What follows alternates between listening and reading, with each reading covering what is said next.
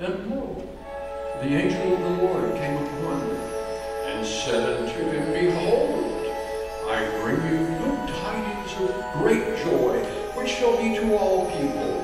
For unto you is born this day in the city of David a Savior, which is Christ the Lord.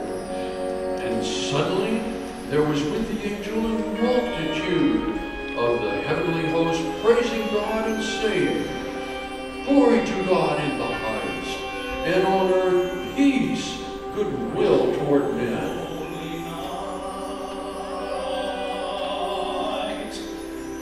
The stars are brightly shining.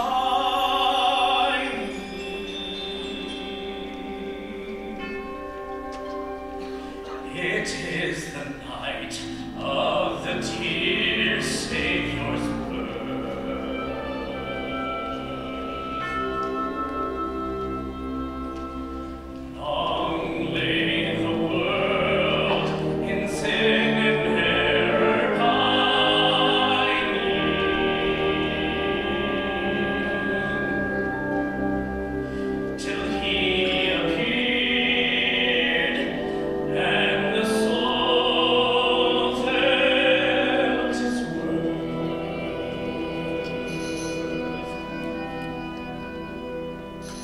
thrill